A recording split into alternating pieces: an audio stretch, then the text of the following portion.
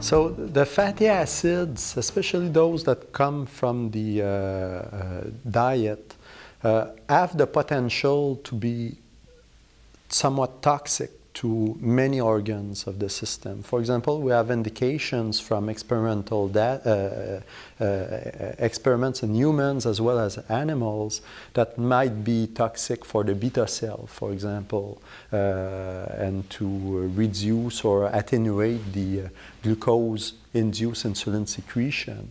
We have also uh, documentation of a possible effect in the heart uh, whereby it may reduce the capacity, uh, the functional capacity of the ventricles uh, and change the metabolism of the, the heart. Uh, the liver is the same, the, the, skeletal muscle is the same. So, so the adipose tissue may act as a buffer to reduce the flux, the overall flux of dietary fat to the lean organs and thereby reduce a little bit or somewhat the, the risk of developing insulin resistance and the other complications associated with insulin resistance.